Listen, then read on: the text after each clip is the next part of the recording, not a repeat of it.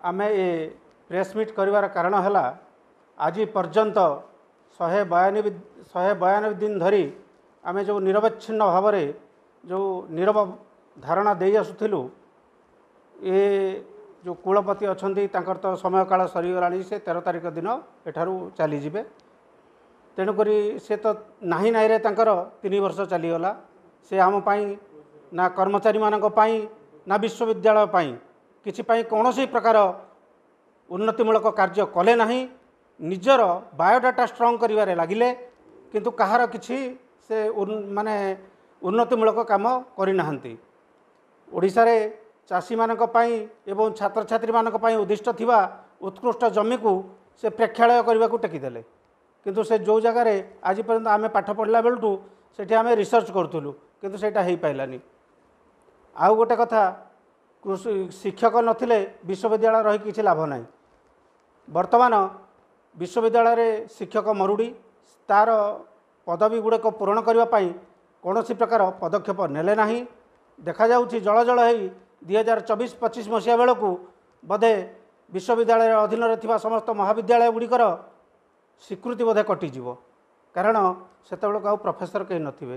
ଯଦି ପ୍ରଫେସର ନଥିବେ ଭଲ ଗବେଷଣା ହୋଇପାରିବନି P G P H D ଛାତ୍ର ଭଲ ବାହାରିବେନି। ସେଥିପ୍ରତି ଆମେ ଆଶା କରୁଛୁ ଯେ ନୂତନ କୁଳପତି ଆସିବେ ଆମେ ତାଙ୍କୁ ସ୍ୱାଗତ କରୁଛୁ। ଆଶା କରୁଛୁ ଆମର ସହୋଦରତା ସହିତ ସେ ଆମର ଦାବି ଗୁଡ଼ିକ ଶୁଣିବେ ଏବଂ ମାନେ ଶିକ୍ଷକ ନିଯୁକ୍ତି ବୈଜ୍ଞାନିକ ନିଯୁକ୍ତି କ୍ଷେତ୍ରରେ ଆଗ ଅଗ୍ରାଧିକାର ଦେବେ। ଶିକ୍ଷକମାନେ କିପରି ସମୟାନୁବର୍ତ୍ତିକ ଭାବରେ ତାଙ୍କର ପ୍ରମୋସନ୍ ପାଇବେ ତାକୁ ଦେଖିବେ ତା ସହିତ ଶିକ୍ଷକମାନଙ୍କର ବହୁତ ଦିନରୁ ବକେୟା ଥିବା ପାଉଣା ଗୁଡ଼ିକ କିପରି ମିଳିପାରିବ ସେ ବିଷୟରେ ଧ୍ୟାନ ଦେବେ ଏବଂ ମୁଁ ଏଇଠି କହି ରଖେ ଯେ ତେର ତାରିଖ ପର୍ଯ୍ୟନ୍ତ ଆମେ ଇଏ ତ ଚାଲିଯିବେ ଆମେ ତାଙ୍କ ପାଇଁ ଏ ଯେଉଁ ଆମର ଶହେ ବୟାନବେ ଦିନର ଧାରଣା ଆମେ ସାମୟିକ ସମୟ ପାଇଁ ୟାକୁ ସ୍ଥଗିତ କରୁଛୁ ଆଶା କରୁଛୁ ଯେଉଁ ନୂଆ କୁଳପତି ଆସିବେ ତାଙ୍କର ସମ୍ମାନାର୍ଥରେ ଆମେ ୟାକୁ ସ୍ଥଗିତ କରିଛୁ ଏବଂ ଆଶା କରିବୁ ତାଙ୍କ ସହିତ ଆଲୋଚନା କଲା ପରେ ଯଦି ସେ ଆମର କଥା ନ ଶୁଣନ୍ତି ତାହେଲେ ପର ପରବର୍ତ୍ତୀ ପଦକ୍ଷେପ ନେବା ପାଇଁ ଆମେ ସମସ୍ତେ ବାଧ୍ୟ ହେବୁ। ଏଇଟା ଆମର ଚତୁର୍ଥ ପ୍ରେସ୍ ମିଟ୍ ଆମେ ଗତ ଶହେ ବୟାନବେ ଦିନ ହେଲା ଓଡ଼ିଶା କୃଷି ଓ ବୈଷୟିକ ବିଶ୍ୱବିଦ୍ୟାଳୟ ସମ୍ମୁଖରେ ଏବଂ ତା ଅଣ୍ଡରରେ ଥିବା ଦଶଟି କଲେଜ କୋଡ଼ିଏଟି ରିସର୍ଚ୍ଚ ସେଣ୍ଟର ତେପନଟି ଆଇ ସି ଆର୍ ପି ଏବଂ ଏକତିରିଶଟି କୃଷି ବିଜ୍ଞାନ କେନ୍ଦ୍ରରେ ଏ ଧାରଣା ଅଫିସ୍ ଆୱାର ପରେ ପାଞ୍ଚଟା ତିରିଶରୁ ଆଠଟା ପର୍ଯ୍ୟନ୍ତ ଚାଲୁଛି। ଏହାର ମୁଖ୍ୟ କାରଣ ହେଲା ଆମର ଅଠରଟି ଦାବି ଅଛି।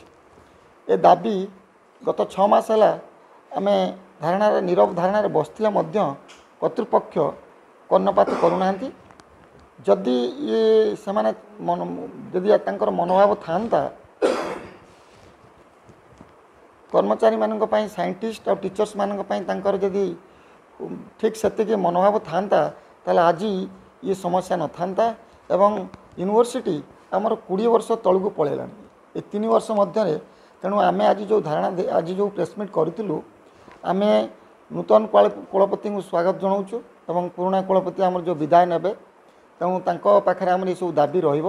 ଏଇ ଅଠରଟି ଦାବି ଭିତରୁ ସେ ସମୟର ଯାହା ସମ୍ଭବ ଏଠି ତାକୁ ଆମର ଦାବି ଗୁଡ଼ିକ ପୂରଣ କରନ୍ତୁ।